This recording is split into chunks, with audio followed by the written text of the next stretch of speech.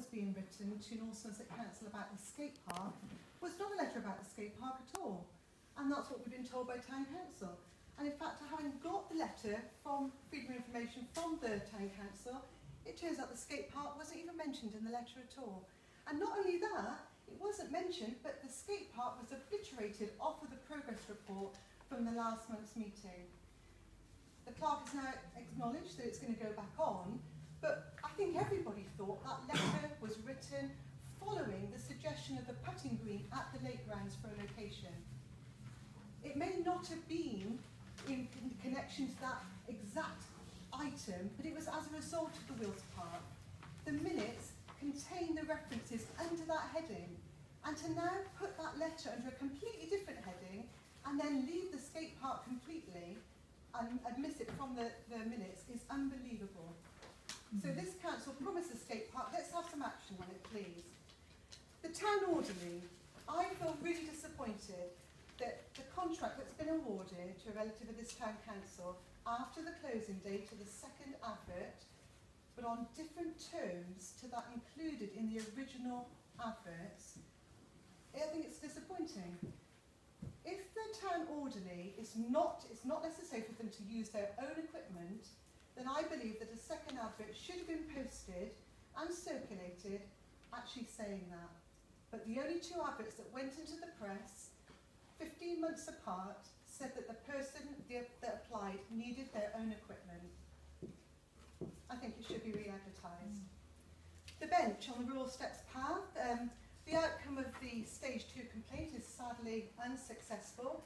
The council are not going to um, allow the bench to be reinstated on that pathway, uh, despite the petition in support of it. It will now go to the Ombudsman, and it's very sad that four residents who objected, who are currently in occupancy in the, Master, uh, the Dockmaster's house, um, say that they don't want it because of antisocial behaviour. When the only antisocial behaviour that actually was observed on video was actually from a resident in that property. The bench was there historically. Nobody that lived in that house before objected to it. There was no evidence of antisocial behaviour previously. And I hope we have a good case when we go to the Ombudsman. And thank you, uh, Councillor Clark, for your support. Declaration of interest.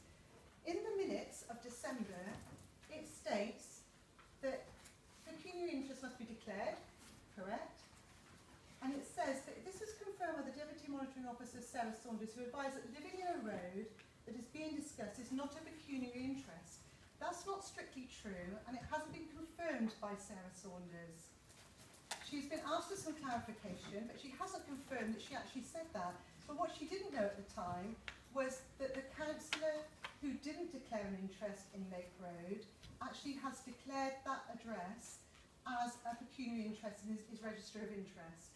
So we've now gone back to her again, but I, I'm a little bit concerned that things are being quoted in the minutes which may not be accurate, which may not be evidenced. Uh, but I hope that perhaps that written evidence may be provided to me. What people have got to realise is, is that government legislation is clear. You can research that, it's available on Life. There are seven principles of public life.